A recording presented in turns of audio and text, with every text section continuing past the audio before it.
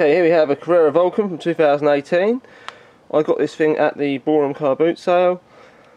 As you can see, it's in pretty good condition as well. Um, like, it's not much, you know, paintwork damage or anything like that to it. There's a few nicks here and there, but hey, it's a used mountain bike after all. This is a 2018 model, and the main differences between the new ones and the old ones are this is 8 speed and the new one's 9 speed. So you've got SRAM X4 gearing on here, which of course is very reasonable, will last pretty much forever a SRAM riveted crankset so unfortunately you can't um, remove the chain rings or replace them. You'd have to replace the whole crankset when that wears out.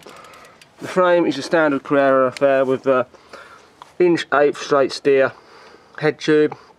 You cannot fit tapered forks to this which is a bit of a shame as it does limit your upgrade options quite severely but then not many bikes in this price point have the tapered head tube. The only one that does is the B-Twin 540 as far as I'm aware the brakes on here are Clark's EXO with the inverted uh, master cylinder. They work reasonably well, they're a bit contaminated so I need to sort that out.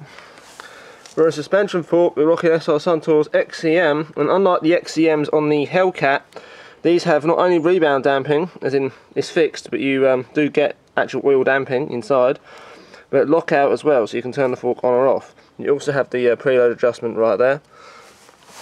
The wheels are your standard Carrera affair, they're not reinforced or anything like that, they're just your basic basic wheels, although the spokes on this one, these, mm, a little bit loosey-goosey there.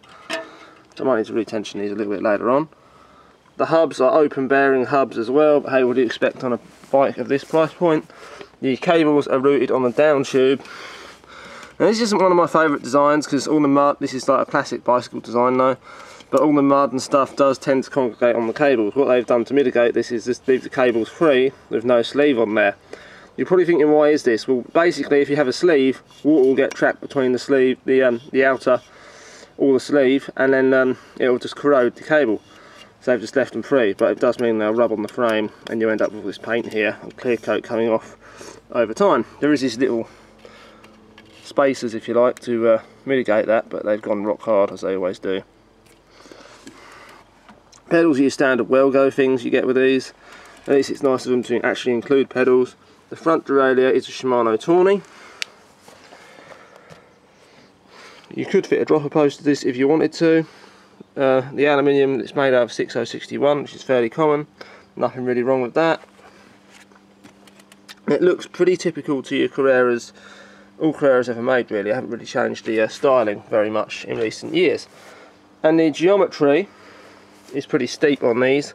I don't know the exact head angle, but I suspect it's around 69 degrees or so. Whereas a more modern bike like a Marin Quentin or a Norco Torrent or Identiti AKA is going to be around 64.5. But the uh, slacker bikes don't wheelie as well because the fork's sitting out more to the front, so there's more weight over the front end. So these older older style uh, bikes do wheelie better, but they uh, don't jump as well, and they don't um, don't, not so much jump, they don't do drop-offs and certain cornering as well. But hey, for the price I suppose you can't complain. So yeah, that concludes the video on the uh, Carrera Vulcan. I might do a video about me riding it later, we'll see. I've got someone interested in this already. I'll see you later.